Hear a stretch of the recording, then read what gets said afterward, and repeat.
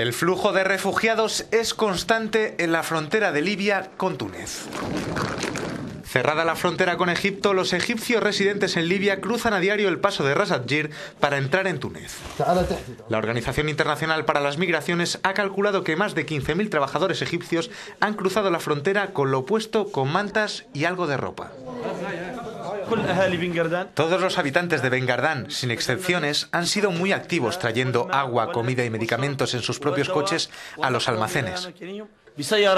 Están también guardando cosas en sus casas y usando todos los medios que tienen para ello.